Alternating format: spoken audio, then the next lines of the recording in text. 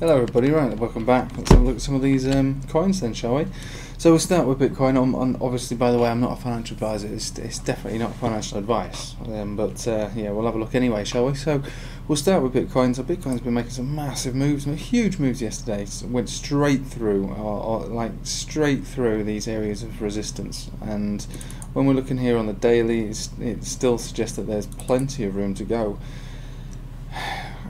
I'm not really convinced, though, I should say, but I mean, you're going to have to follow what the chart says right now, and the chart says it wants to carry on going up. Okay, so if that's the case, where is it going to go up to? When's this going to stop? And how long is it going to take?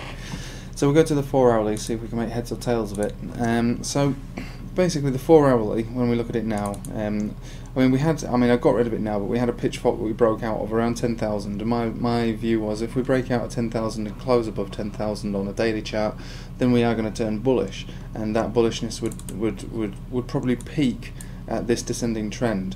So, to be honest with you, the, the rate that it's going now, with these super strong moves that it's making now, um, that's my expectation. I'm not going to trade anything. I mean, obviously I hold Bitcoin, but I do trade it as well, and there's there's certainly no trading for me right now uh, until we get to this area, and then I might pull a short on it. All right, I'm not tempted to go long on it now. I'm also not tempted to short on it now because we're basically right in the middle of first of all a resistance box, um, and to be honest with you, it's, it's gone straight through this area here, which was, should have been resistance for it as well, which is uh, 10,250. Went straight through that um, and straight through these um, moving averages as well, and into straight into this here, which is our, you could call it historically, I guess, in in recent times, um, a bit of a, not exactly a pivotal part for it, but um, close.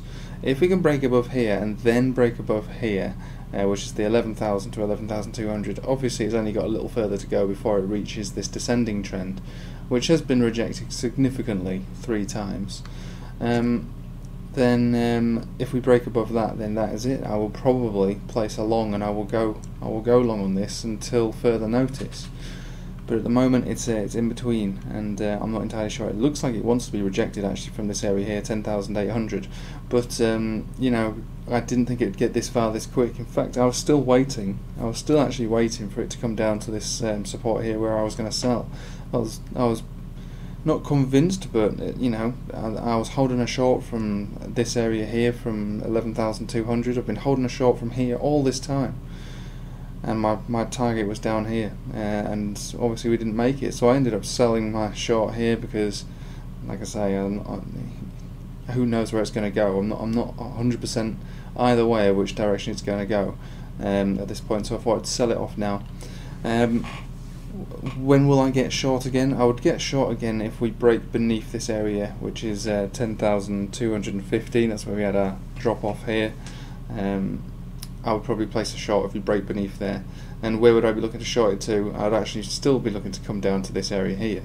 Uh, but at the moment we're right in the middle and indicators suggest it wants to go up it's got the momentum should I should say it's got the uh, it's got the it wants to go up let's just say that. It wants to go up but whether it's got the strength actually I, I'm not entirely sure. So it might lurk around this area maybe come beneath this area here and, and find find itself beneath 10,600 again.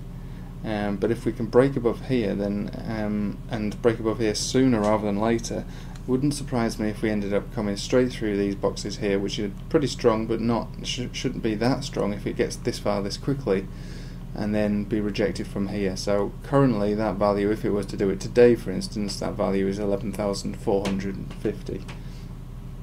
That's the value it would be now. So it's it's unlikely to get higher than that without a without a rejection.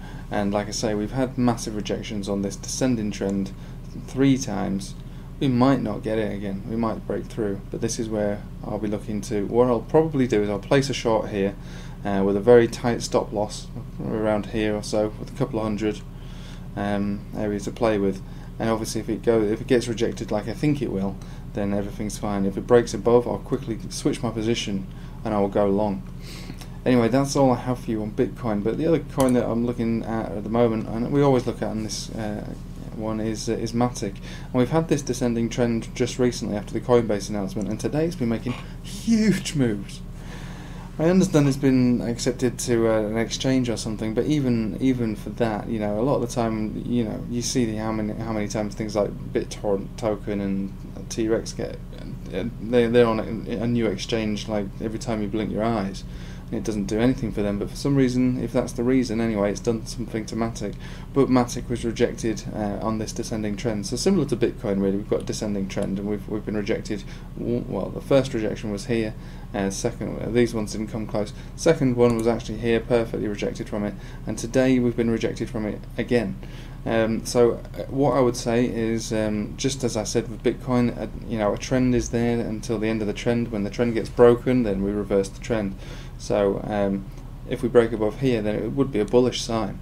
Now, um, I hold Matic anyway. I've, I accumulate Matic because I've, I've got high expectations for it. So I've been accumulating um, all the way up and all the way down. Um, and so, you know, to me, I, obviously I don't really trade it, but um, something to bear in mind is if we do break above here, we've got significant resistance box here. This starts at um, uh, 16 uh, what am I talking about, 16, 1.6, and ends uh, up here at 1.8. If that gets broken, then we've got the the the, uh, the holy grail of 2 cent to be broken. Uh, but that's way off at the moment. We need to break out of this trend. So, like I say, we have been rejected from it right now, uh, today. Um, if this is just off the back of an exchange and people are trading on that exchange and it's a bit of a honeymoon period for it, then um, perhaps um, it will fizzle out and, uh, and and carry on in its descent. But um, if we do break above that, then uh, then we will be testing this box, and like I say, it's these areas that need to be broken, uh, and then once we've broken this area, then we can really start talking about where we're going next. Um, but at the moment, it's got quite a long way to go. But yeah, you can, you can see it's a perfect rejection from it there. It's a perfect like like it, it was it was meant to happen, you know. So uh, where we're going from here? So on the daily, it actually looks like it wants to make a fresh cross, and that will be taking place tomorrow. So uh, perhaps this won't fizzle out. We'll see how how remarkable that cross is. I mean, obviously it's it's looking quite um, steep at the moment because of the movements that we've had today, but um, this all might fade out and and continue with its downward spiral. I mean, the uh, the RSI, uh, you know, has actually been making lower lows, so it would suggest, you know, just general uh, bearish momentum still, regardless of the pump that we've had today uh, and the day before, obviously. But we'll see how we go. You know, like I say, we've got to break out this trend and into this support and resistance area. Once that's done, then maybe we have reversed a trend. I mean, it looks like we want to reverse a trend. There's a lot of speculation about the Coinbase announcement um, and when that will be. But then there's also the uh, you know, the problem that we're going to have with people trading on Binance in the US. Not going to be able to do that anymore. Not on Binance, that would be anyway. Uh, so there's a, there's you know there's a lot of things coming into play with Matic. It, it, it's it's got so much promise, but it's got quite a lot of things stacked against it at the moment as well. Anyway, I'll leave it with you there. It's not a very informative video, like I say. In, in a nutshell, we've got two downward trends that we need to break, both on Bitcoin, both on uh, and on Matic.